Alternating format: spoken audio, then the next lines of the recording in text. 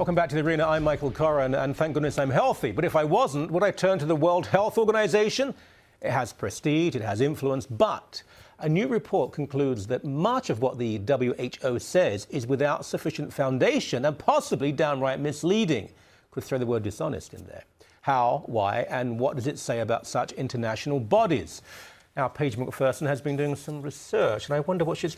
This is important because World Health Organization generally, it, it's, it's like the Pope saying something. Um, it's real. It, it is a disease. It, it, it is a health issue. They weren't considered to be political. Mm-hmm. But apparently they are. I completely agree with you. Their word is like gospel mm. to a lot of people. They're definitely considered the eminent uh, organization when it comes to, uh, especially in times when, let's say, we're considering Ebola. Yeah. You know, they would be the authority on something like that. And so it's very important for those reasons. And then, of course, it's very important because uh, they are mostly funded by government money, a, a, lot of that being our government mm. money. So certainly uh, it's troubling to see that there's this new study out of McMaster University in Ontario saying that uh, the recommendations that the WHO is giving uh, is actually, they're often based on flimsy research. There's not enough evidence, and even by the WHO's own standards of evidence, uh, which I'm sure, you know, the average person when they hear a WHO statement doesn't look into, but even by those standards, they're really they're not strongly supported by evidence. I can't help thinking of Roger Daltrey every time you say what the WHO said about something, because Roger Daltrey's word is, is gospel.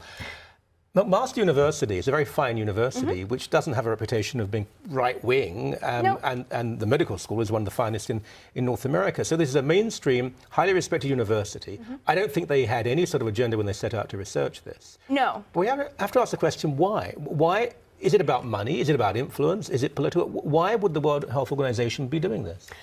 Well, uh, I mean, I guess it'll be speculation, but the I think that when you have an organization like this that is of such a high standing in a lot of people's minds mm. and that mm. such an authority, um, a source of that authority. They they have the it's in their own interest to maintain that. It's in their own interest yeah, to give yeah. recommendations, to act, to give definitive statements because people are looking to them for that information. But to put it into a, a little bit of context, in the the WHO's own grading system, the World Health Organization, not the cool band, when their own grading system to determine how evidence supported their recommendations are 289 uh, strong recommendations came out between 2007 and 2012, and they have 33 different levels of guidelines for this. So, to break it down, 73 of those recommendations were actually based on weak evidence, which by the WHO's own guidelines could not be justified under any of the exceptions that the system allowed for. So, they gave 73 recommendations out of 200 and... out of 289. Okay. Um,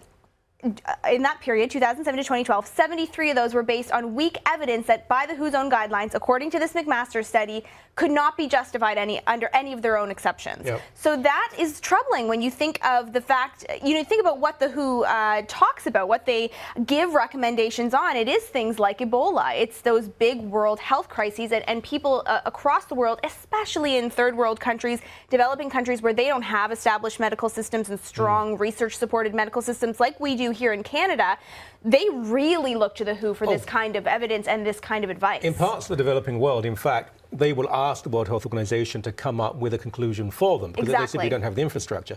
And we don't argue with their findings because it, it would, it, was, it would be blasphemous to do so. You, you right. assume that they are speaking the truth. Look, this is not the first time, and I'm not saying this is political. It may be, as, as you said, it was very pertinent. I think it may just be self sustaining. Mm-hmm. They, they, they're, they're, doing too much, they involve themselves in too much, they have to come up with, with, with responses, and sometimes they're not viable. But the United Nations and so many of, of, of its offspring, they're, they're deeply political. And mm-hmm. they obsess about certain issues in certain countries, so this is nothing new.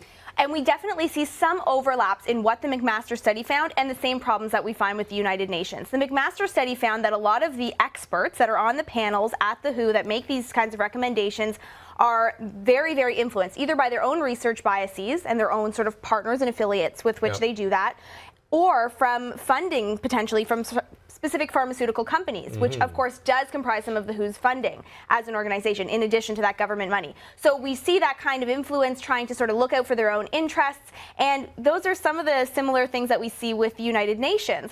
Um, I have a few not so fun facts about the United Nations to share. Just to look back, uh, um, I think one of some of the more egregious things that we found yeah. about the United Nations that are recent. So. Um, first of all, we can look at the United Nations Human Rights Council, and we can look at, to draw this sort of connection, the, the recommendations that the UN Human Rights Council might make could be influenced by some of its members Saudi Arabia, China, Cuba, Qatar, Algeria, Russia. These are recent appointees to the UN Human Rights Council, of course, making decisions on human rights for the world, maybe influenced by their own, uh, you know, very religious or, or extremist views.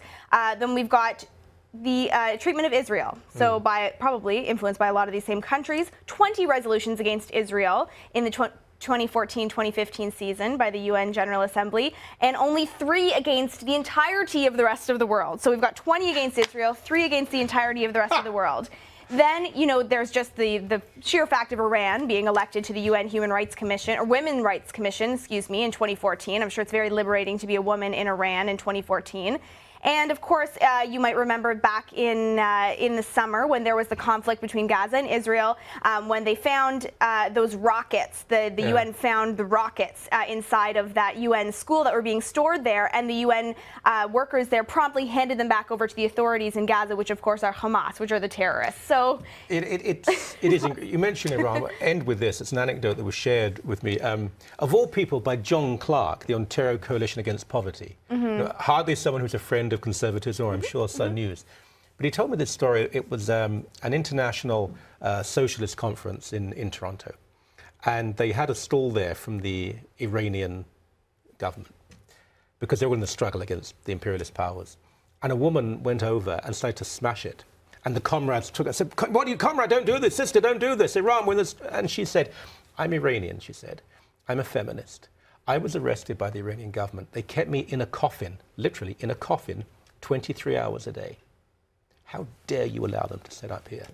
Yet they were elected to the UN Women's Rights Committee. Thank you for your time. I appreciate it. Thank you. Mm.